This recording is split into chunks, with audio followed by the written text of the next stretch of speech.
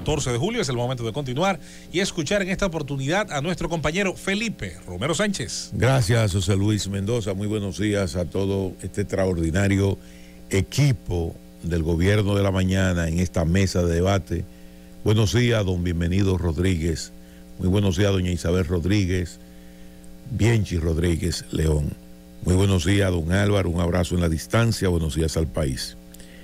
En primer lugar, eh, destacar la campaña que tiene la Embajada de los Estados Unidos eh, y quiero unirme a ella y pedirle a los dominicanos que les gusta mucho viajar con cosas sin conocer a veces con lo que viajan, que tengan cuenta. La Embajada de los Estados Unidos ante el tema de la fiebre porcina, la República Dominicana ha emitido un comunicado donde le pide a los ciudadanos no transportar eh, productos cárnicos, sobre todo derivados de la carne de cerdo, y estamos hablando de embutidos. Y la campaña dice los cerdos no vuelan, los cerdos no vuelan.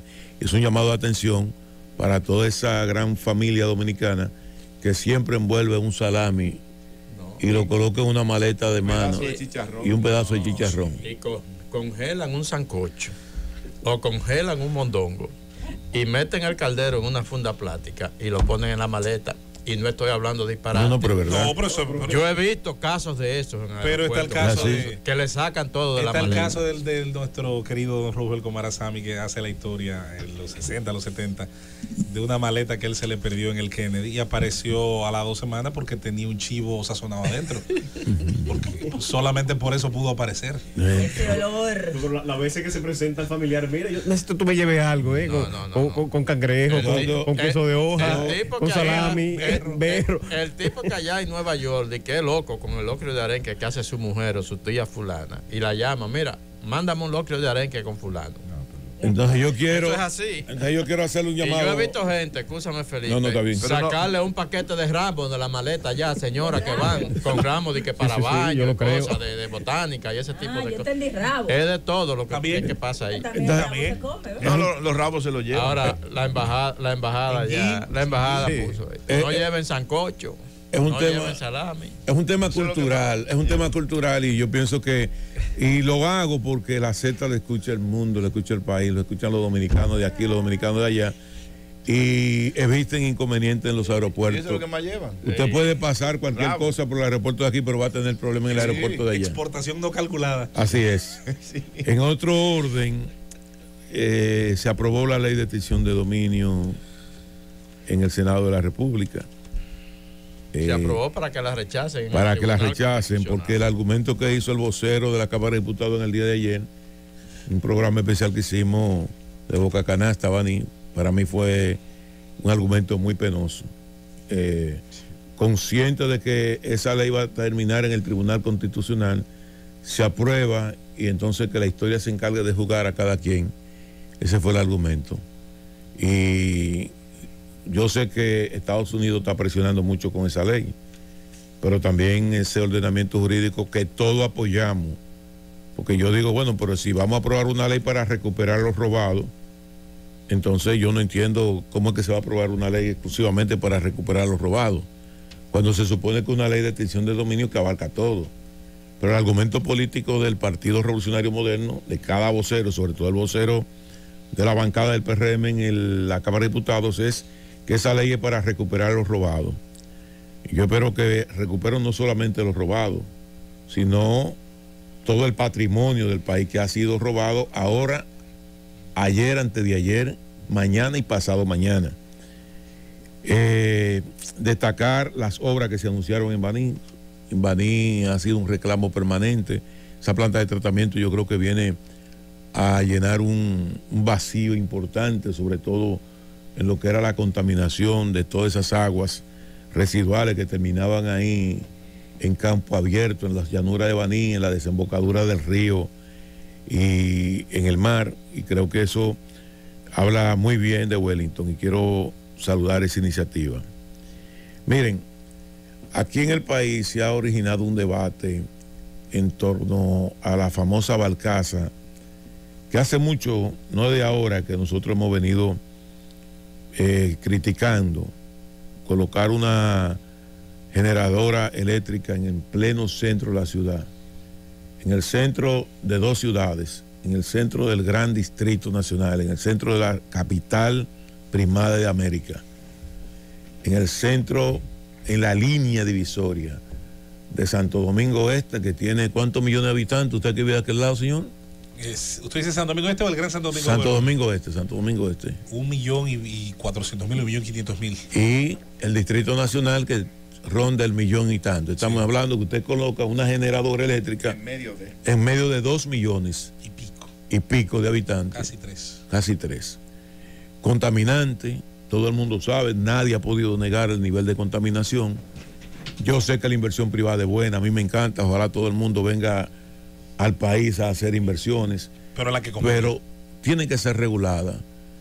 Y hay derechos que ciertamente que hay que reconocer, pero las sociedades cambian. Es como que usted tuviera ahora mismo la planta de carbón que tenía Nueva York en el año 1850. ¿Verdad? Nueva York tenía una planta eléctrica en los años, eh, eh, eh, en los años 1850, 1800, a principios del siglo. Había muchas plantas a carbón en las principales ciudades en Londres. Hay que recordar esa crisis de contaminación que vivió Londres en el primer gobierno de Churchill. Y yo lo digo porque las cosas no son espectreas y a veces asumimos compromiso y pensamos que, que las cosas tienen que dejarse por dejarse.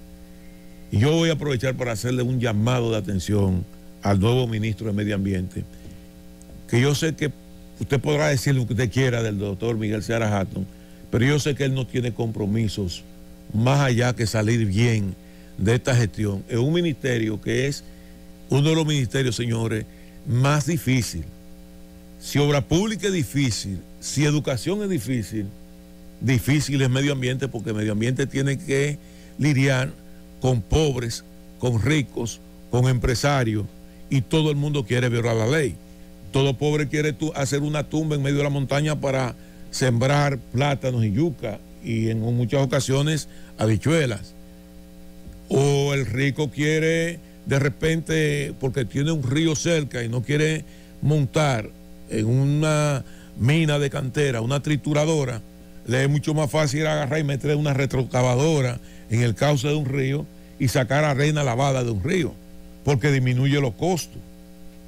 Y cualquier empresario le gustaría montar una empresa sin un estudio de impacto ambiental y lanzar a las aguas de, las, de, de la vertiente de los ríos, arroyos y cañadas sus aguas residuales. ¿Entiende? O cualquier empresario le gustaría eh, contaminar porque reduce costo. Por eso usted ve que el tema de los desarrollos, de los que desarrollan las áreas inmobiliarias, lo que hacen es que te hacen un pozo séptico en un lado y al otro lado te hacen un pozo de agua tubular. Sin embargo, el que se va, muda en ese edificio y usa esa agua y se baña, lo que se está bañando es con bacterias. Y muy contaminante. Y usted ve que las mujeres no salen del ginecólogo con esa gran cantidad de bacterias por el tema del agua. Y todo el mundo ahora tiene que hacer inversiones en sus hogares, en sus hogares, para colocar filtros en sus hogares por la cantidad de bacterias que tienen, sobre todo que afecta tanto a hombres como a mujeres, pero más a las mujeres que a los hombres. Y las mujeres que nos están escuchando saben que es así. Tienen que tener un agua de botellón en el baño para bañarse, sus partes íntimas, y por otro lado tener, comprar un botellón para, para consumo humano. Esa es la realidad en que vivimos. Entonces, yo quiero hacerle un llamado al ministro eh, de Medio Ambiente, el doctor Miguel Sierra Hatton. Yo creo que el Ministerio de Medio Ambiente tiene necesariamente que fijar una posición ante todos estos reclamos. Ante todos estos reclamos que no es un reclamo de Juan o de Pedro, es un sentir de, toda la sociedad dominicana. Y yo creo que por lo menos vamos a decir, no vamos a agarrar y vamos a decirle a esa empresa, mira, tú tienes que trasladarte. El Estado creo que tiene que crearle las condiciones. El Estado tiene que ser colaborador de ese traslado. El Estado tiene que hacer un cronograma de decontaminación ambiental en el Gran Santo Domingo, señores. Eso que ha anunciado, por ejemplo, el, director de la CAS con el, saneamiento de la cañada, excelente iniciativa. Felicitamos esa iniciativa con el saneamiento de la cañada. Pero ¿de qué nos vale a nosotros tener una cañada saneada cuando tenemos el principal río que bordea la ciudad de Santo Domingo, receptor de turistas, porque ahí está el puerto Don Diego, está el puerto de San Sucía, el puerto de Santo Domingo, son receptores de turistas con tres balcazas generando energía eléctrica como si se tratara de la planta de Timberque en los años 1896 cuando se colocó el primer alumbrado eléctrico en la República Dominicana. Está ubicada en el mismo lugar, en el mismo sitio, un siglo y tres décadas después. Yo creo que el Ministerio de Medio Ambiente está obligado a fijar una posición al respecto. Hay que hacer un cronograma, hay que decirle a esa, no es que se vayan, no es que dejen de generar, ojalá yo que vengan 60 mil generadores a la República Dominicana, pero es decirle, mire, nosotros tenemos que tener aquí un cronograma, un cronograma tenemos que tener acá de traslado de esa planta.